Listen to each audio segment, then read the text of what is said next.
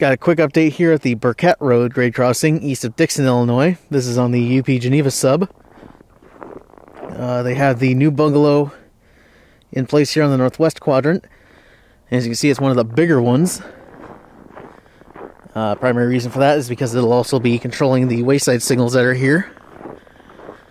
Currently, they have two separate bungalows used for crossing and the wayside signals. That one's for the crossing. They got an older C&W one controlling the wayside signals. And soon it'll be all under one bungalow.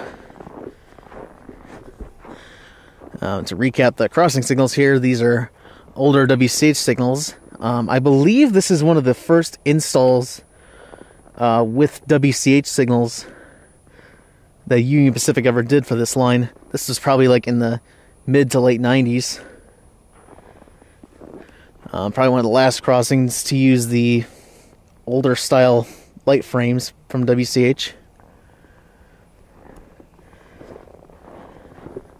And again, just given the fact that it has an older PTNW bungalow, kind of clues in that this is a early UP install and not a C&W one.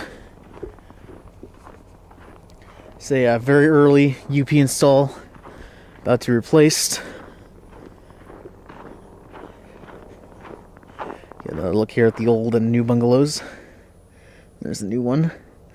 Uh, they had this new one installed out here back in uh, January, but they just added a PTC antenna antenna to it, so won't be long now for these early UP signals.